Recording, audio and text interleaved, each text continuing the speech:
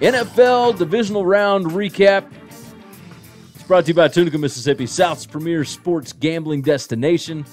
They've got six incredible sports books down there. You go check them all out over at tunicatravel.com. It was a fun weekend. Yeah, this is one of my favorite weekends of all of uh, the playoffs and the sports and everything like that. You Because four this is games, this is when your Pats finally get to get to finally play. get to play, They right? get to play and they usually win. Yeah. Um, no, but but all the other games I like too. This is when. Don't mean to offend people when I say this. People get really upset with me when I call certain teams real teams. Very sensitive about their teams. this is where the real teams play. yeah. I mean, you got wild card weekend, and teams kind of slide into the wild card every year, and they are on like a hot streak, and they roll, and then they get into this weekend, and you kind of find out, oh, there's a reason these four teams got to bye. Yep. There's a reason from like week five on, we had these four teams as pretty consistently the top four teams in the NFL, and yep. that's that. Um, we'll you start- are 8 and 0, by the way. I am. I am eight and oh. zero. I figured you would lead with that. Well, I wasn't gonna leave with it. A little trying to trying to humble myself. I'm actually very nervous about making every pick now. Sixty-two percent over the year, which is my second year in a row to go over sixty percent in the NFL. yeah, it's um, pretty pretty They bonkers. they don't build those big buildings that we bet in off of people winning all the time. I just feel like the wheels are going to come off eventually, and I'm Well, you only got three games left, so like e- even if you lose these three, it's not that That's- dire. I know that, but it's still going to suck. now, now next year is when you need to be careful, Yeah, well, it's a whole new year. and and We'll a bunch of new hires and, and start, all that. start at zero and whatever, but eight zero right now. Um, Eight pretty, no in the playoffs. pretty damn proud of it, I'm, and over sixty two percent on the year. I mean, that's I'm three and five. I li- I literally picked every game wrong last week. well, yeah. You win against me on every game, which we don't look at each other's picks beforehand. The week before, you were three and one, and and and we we had almost all the same games. Um, so yeah, it was a good week. What happens is is the wild card teams look great, underdogs cover cover cover, and then they get into this round, and the teams with the bye just they're so much better prepared. Like I had people going at me on on not really on Twitter so much as uh, the YouTube comments where they were they were kind of saying, well, the the you don't have two weeks to prepare because you don't know who you're playing. It's like that's not how any of this works. To be able to work on your own game plans, you run a base defense and you run a base offense, and you're putting together gimmick packages and special plays and all this stuff, and you don't care who you play. Well, and the staffs are so big now that you can actually have people scouting and setting Both- up for either teams. team. And that's right. And as soon as you know who the winner is of the team you're playing, you're now you have a whole week of extra practice that nobody else got, but you got rest that you didn't have to get hit, beat up on. And then you instantly say, Jerry, give me your package. Steve, throw yours away. It doesn't matter anymore. Yeah. And you just now start infiltrating these plays and you start game planning. You're like the- that much Chiefs- more ahead of everyone. The Chiefs knew at halftime of the, the exactly Colts Texans. who they're playing. Now that's that's about the only game that was a blowout where you said, "I know, I know who I'm playing." And and the people in the comments that want to talk about how the Colts uh, did not blow out Twenty-one Texans, seven, not a blowout. Come on, man. like it, that game was dominated. You knew the Texans had no chance of coming back in that game. Eh, anyway, Like either way, but so let's let's get into this. There's one common theme that right. I found in all four of these games between the team that won and the team that lost, and it's something that kind of didn't happen throughout the season. We had high flying offenses, tons of scoring, lots of passing, and not a lot of defense. But you and I, our entire life, we grew up, we're SEC guys. We like, forget about just SEC guys, because Big Ten plays football this way. And the NFL has always been this way up until the last couple of years, where your best athletes are on defense. And the way to win football games has always been you run the ball, you stop the run. We actually have a T-shirt for sale. That's right. winningcureseverything.com slash store we've got the run the ball stop the run shirt That's right. We Like- believe in that. and And and it's proven time and Well, time again It proved it all four of these games. The highest rushing team out of the four losing teams was the Colts at 87 yards. yeah which was uber surprising. That's right, because we thought they would run all over the Chiefs. Yeah. Ball control. So so let's break down the Colts game. First three drives for the Colts, all three and out. We didn't see this Kansas City Chiefs defense all year look like this or do anything close to this. Three and outs. Chiefs first three drives, two touchdowns and a field goal. Ball game is over at that Yeah. point. Um, because they- at that point, Andrew Luck has, and yes, we understand that these teams were all behind and had to run the football going forward. that's right. Now, the only team that didn't was is- the is Eagles. Saints. Yeah, the Saints and the Eagles game. That's the only game that was flip flop. But the game was. It's hard to say this if you just take all the quarters and all the stats. It's the exact same, except the Eagles got all their stuff in the first quarter, and the other three teams got all their stats in the fourth quarter. Yeah. But really, they had one quarter and it bookended the game, and then the other three quarters they just got roasted. Um, Mahomes throws for 278 yards, no touchdowns, didn't have to. They ran the football all over Damien Williams, the Colts. by the way, what a fantastic piece to have if you lose Kareem Hunt. Oh, Kareem Hunt, you gonna kick somebody in the face? Yeah, we're gonna let you go because we got this cat here that wasn't highly drafted and was kind of buried around uh, in college in, in a roster where he LSU, like Alabama, usually has two, three, four runner. He was not Leonard Fournette. He was not Derrius Guice coming out. Yeah. He did not have that big shining star that everyone thought was going to be a monster. But Andy Reid's offenses have just, I, while that's my guy, I can't take too much credit. He's been doing this my entire life. If you're a running back for Andy Reid, you are going to look like a stud. Yeah. So I, I don't know Uh, if he would look this way if he was running for Arizona. I mean, it's just let, us talk about the Rams then. Okay. CJ Anderson. Holy mackerel, man. look. I'm I'm fat, so I can say this. C.J. Anderson's fat. He- yeah, he's a, he's a big boy. He's, a big he, boy. He wasn't that way. He wasn't that size two years I, ago. I was When he came out of Clemson, he was a freak. I think that I think this is a different dude, isn't it? Oh, no. That was that was CJ somebody else. This ain't the oh, that was same C.J. guy. Spiller. Yeah, I C.J. Spiller, yeah. that was literally just off. The I don't even know where CJ Anderson. I'm finding school. out. You you talk about what you're going to talk about. Uh, but no, it, him coming in, he had been with what three teams this year? Yes. three non-playoff teams, and got cut by all of them. oh, he was from Cal. I, I, I remember him now. Yeah, he was from Cal. So he, Yeah. I'm telling you, man, he was. Uh, Was he always that big? I don't think so, Don't remember that. but but Eddie Lacy wasn't always that big either. Well, no. Well, see, uh, here's the thing: at at Lacy's college campuses, you can you can control what these guys do a lot more easily, Yes. right? So, but when they get out on their own and they're expected to go do this stuff by themselves, Well, you have dietitians, you have weight trainers, you have. I mean, you're literally under a coach's thumb almost every day, almost every hour. and some guys day. tend to do better in a, a scenario like that. Like Eddie Oh, Lacy, I oh, think yes. did better at Alabama than he did out on his own, right? In Seattle, they were just trying to keep him under three bills, and they gave him like a hundred thousand dollar bonus. Yeah, I think it was under two fifty, but yeah. I don't know, man. Hey, by the way, I brought this up on the uh, the Daily it Show the other day. My wife's got me doing Whole 30.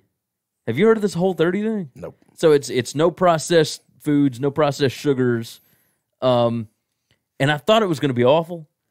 Like no dairy, no processed food, uh no bread, but like we've had some pretty good meals, man, and my lunches have been like a sweet potato and some chicken and vegetables and whatever every day and like fruits for snack and whatnot. Man, I am down 12 and a half pounds in 2 weeks. I'm not even working out. I think I found them. I mean, it is I know where they're insane to they're me. Under I- this, they're under this beard. Either way, back to face. CJ Anderson, who was fantastic for the Rams against the Cowboys.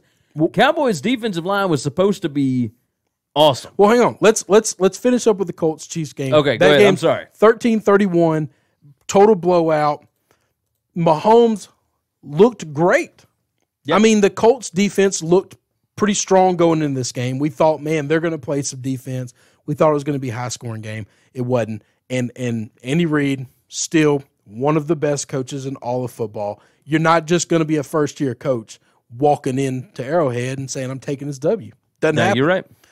We'll get to the Colts game or the, the Cowboys Rams game. Dallas, total rushing yards between Dak and Zeke, Fitty. 50.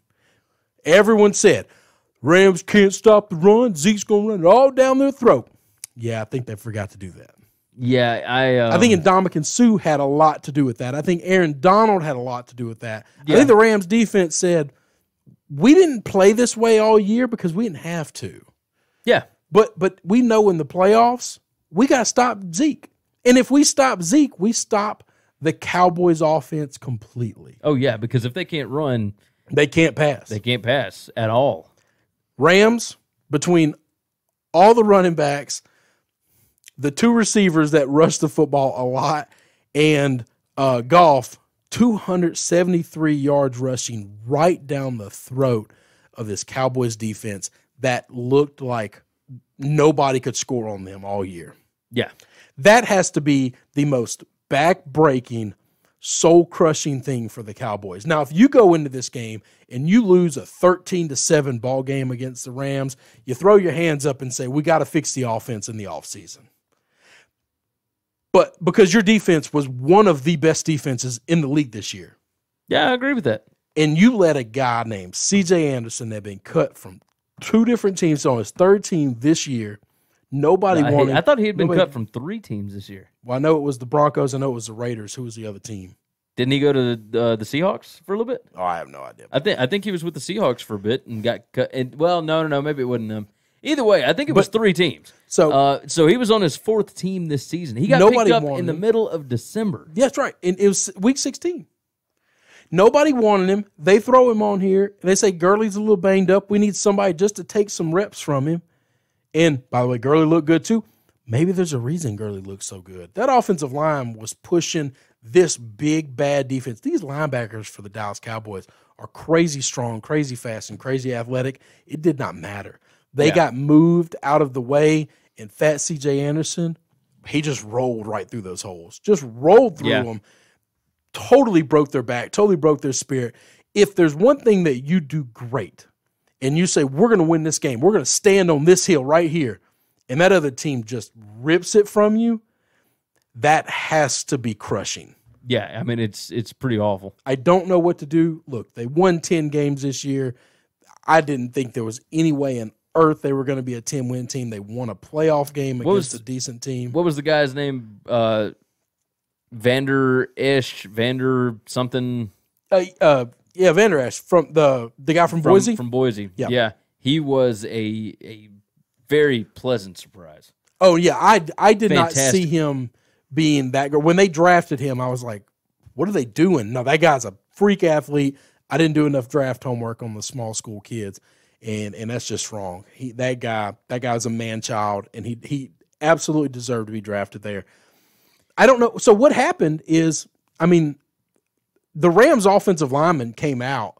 One of their offensive linemen came out and said, "We knew every defensive scheme they were running. Yeah, We knew everything, every play they were going to run on defense. We knew it as soon as we walked out there, and and we got checked into the right play, and we just took it away every time. Now you hear about defenses doing that to offenses. Man, I've never seen an offense just say, "Oh, you're going to blitz here and you're going to do this," without it being Peyton Manning, Tom Brady, Aaron Rodgers, like that level and that's that's that what level Sean guy, McVay has, Sean McVay, Yeah. Sean McVay was able to say they're running this, run it here. They're doing this, run check to this play, check to that play, and and and it worked like a charm. Um, it- scoreboard 22-30, close game. Dallas took a lead in this game, but but they didn't have any control after the first. I'm like after once the Rams started scoring, Then it was over. They could not stop them. Dallas got a couple of big busted uh, touchdown plays, and uh, you know to make you, it. you know where I watched uh, a lot of this game? No. Twain Steakhouse. Oh, there you go. Yeah. So I was I was over at Sam's Town. Good uh hey, sixteen ounce Delmonico ribeye. Yeah, no, That's I've- what I'm I've- talking about. I've been to Twins several times, so It's uh it was fantastic. uh, good game. We'll move on to my Patriots Chargers on to Sunday. There's not a lot to discuss here, is Not no, I've got I've got I've got two notes. This was the most pathetic of all the run games out of all of them. Patriots rushed for 155 yards, nothing like obscene or crazy. They ran the ball, they controlled the clock. Tom threw for over 300 yards. Yep. It like like did what Tom does. And I'll get to the Patriots offense. The Chargers. I thought I was scared of this run game because I'd seen Justin Jackson, I'd seen Austin uh, Austin E- oh, uh, Ekeler. I can't even talk today. And I and I and I love and fear in this game Melvin Gordon.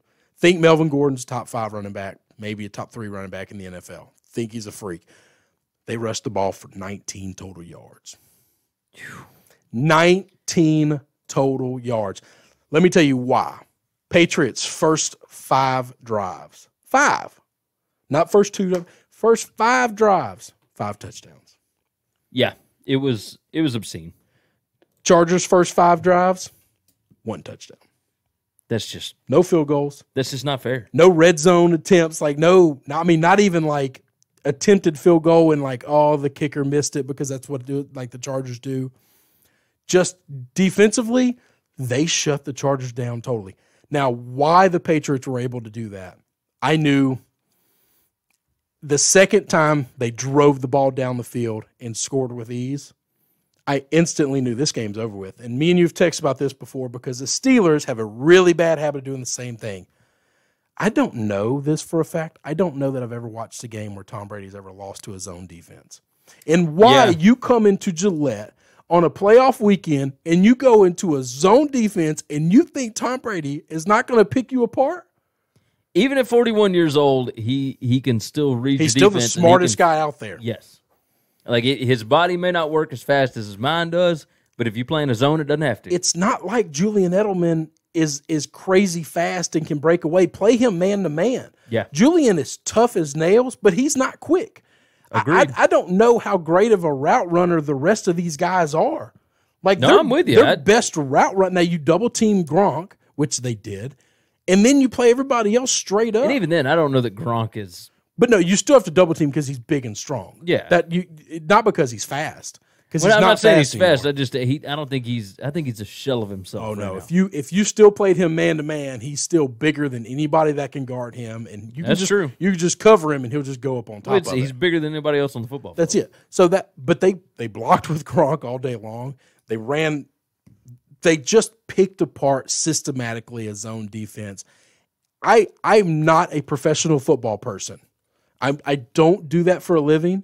If I did, and I worked for a team that planned to play the Patriots, and they said our game plan is to go in to be a zone, I would go to the owner and say whoever's making this decision needs to either be fired now or brutally chastised until they change their mind. I mean, I don't know how to devise the the defense to stop them, but zone will not do it. I've No, watched it for worked. 17 years. It's it's never worked against them. Uh, but the team that so this was the perfect uh, better coach and better quarterback are always going to win, right?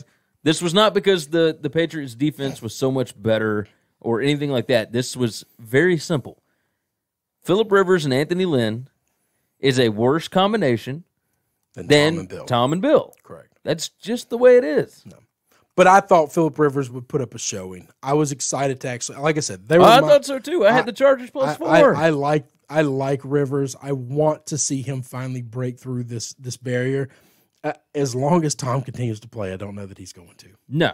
And I'll do this. Not that might not be on Phil's pro- uh, fault. Like if if you play a better defense against him, maybe he's got a fighting chance. No, but once you're down three touchdowns, it's 35-7 going into halftime. Yeah, I mean it's it's. I don't know what you do with that. I mean, it, well, and on top of that, I mean there were fumbles, like fumbled punt returns, and and all sorts of stuff. Like they were Like just three mistakes. or four crucial spots where they got delay of games. Oh, you can't do that. Yeah, they third they and one. Now it's third and six. It's a big deal. mental mistakes throughout this game, and I wonder if it was the weather, along with being in Gillette. Yep. I think it was just a bad spot for him. And again, we talk about this multiple times when we're when we're doing the gambling picks. The West Coast team coming East Coast for a noon kick, right? So Brent Musburger pointed that out on Twitter. Three weeks in a row, the Chargers went West Coast to East Coast for a one o'clock game. Um, they did it week seventeen. Then they did it against the uh, no, week, the week seventeen was uh, was Denver. Oh. They played the Broncos. So it was. he, was said, he said it was three weeks in a row, so that didn't make any sense. I they, they I- wouldn't play three teams from Well, the East Coast. Well, it would have had to have been week 17, but you're right. They played Denver. I don't know where Brent got that from. Irrelevant. Back to back weeks, they had to go there. And my argument is this shame on the organization. When you beat Baltimore, you immediately stay in Baltimore for a week. You get Yes. used to the cold weather. You, you've got a, a thousand stadiums that you could play in between Baltimore and, and, and New England that you could practice in. Yeah, but it, that costs money, and you Oh, know that's such bullcrap, though. That's such bullcrap. You're in the playoffs. If you win that game, you go play Kansas City, a team that you beat already once in Arrowhead this year, to go to the Super Bowl. you know my don't- feelings You about don't the care about that little bit of money in the grand scheme of of the season. Yeah, but Spanos isn't. He ain't wired like everybody else, man. And I think that's a lot of the reason why Rivers has not been to a Super Bowl. You you might be right on that, but that's on the organization. Them Yes. being tired from traveling back and forth.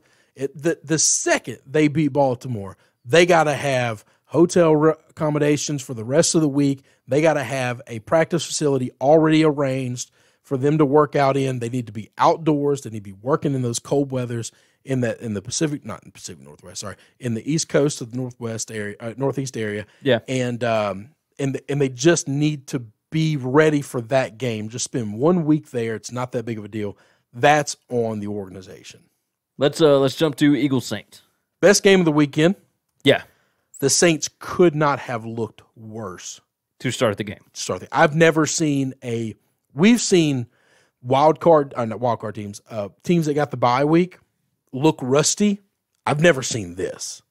No, I mean, this was Drew Brees Well, opened up first play of the game interception. well, thi- this is why. fumbles, bad snaps. Yeah, thi- I this mean, is why you don't like if you've got the bye. Maybe you don't rest the starters the last week. we, the that's right. I, I do Because agree it that. had been three weeks since they played meaningful football. correct. And even then, the it probably hadn't even been that long. It- it yeah, was- no, they were playing like week four weeks. sixteen. They were still playing week sixteen. yeah, They yeah. played all the starters week sixteen. But you're right, week seventeen.